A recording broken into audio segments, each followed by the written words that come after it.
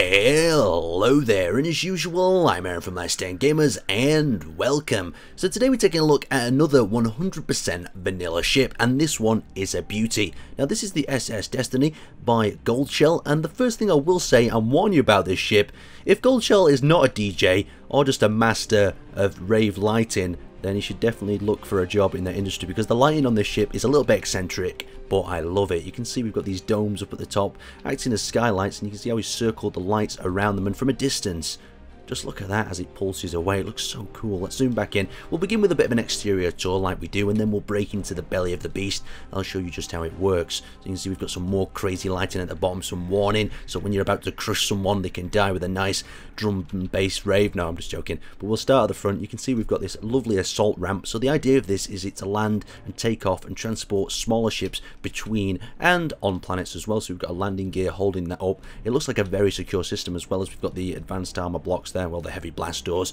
and we've got a combination of thrusters, as well as, look at this, this sneaky little fellow has decided to stick some rocket launchers under here as well, and a camera to aim them. The whole of this ship has been really well thought out for both atmospheric and space flight as well, so we come into the first of the two large hangar bays. We've got this round sort of opening, and on the top, there's just so much detail. You can see he's added little curve blocks as well as oxygen generators, and he's really tried to plan this for survival as well. And then we've got the skylights looking into the larger hangars. I, I won't explore too much inside, but you can just see what them skylights skylights are doing. And underneath we have a sort of reverse function where we've got the hydrogen thrusters that'll help us land safely with the red lights around them so you don't get burned to death. And we've got these sort of extended pods that remind me a bit of like a quadricopter and these help it to hover when it's in atmospheric sort of flight mode. And we've gone to the second hangar now. More solar panels, really well thought out for survival.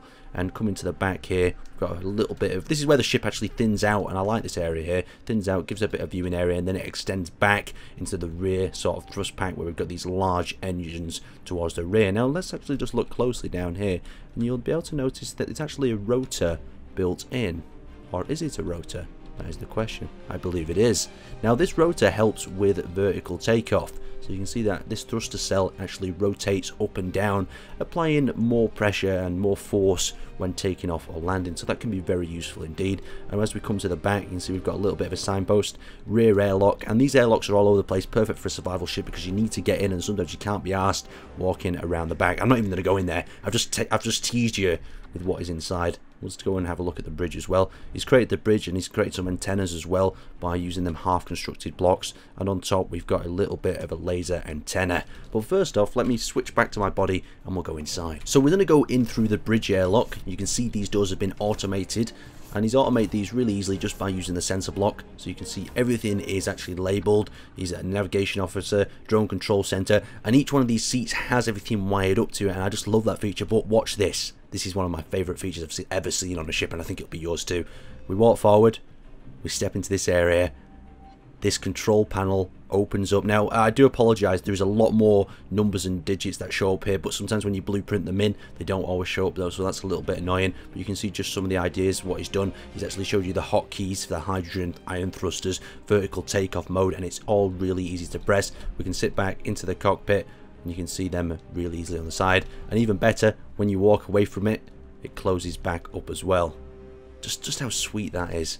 And I even missed out since I was so amazed by that. We've got a little LCD screens on both sides giving our information, our jump drive, location, and so on. So it's just a really well planned out cockpit. And you can see the lights flashing on and off as well as I'm walking in and out of sensory range. We've got a med bay on the top floor. It just goes into so much detail, but we'll pop this up and we'll go down to the lower deck. So this airlock actually pops us down into one of the engine bays where you can see the engine bays actually spinning below us. Just look how cool that looks. We've also got the in aspect, in, uh, Aaron English atmospheric thrusters down the side being lit up by all these flashing lights. It's a bit like a raven here, but I forgive that. It's just a really cool area to actually work in. Got lots of glass, lots of lighting. We'll just fly along to the end here. We've got two little cells here that act as repair modules for when they rotate. We'll pop back out of there.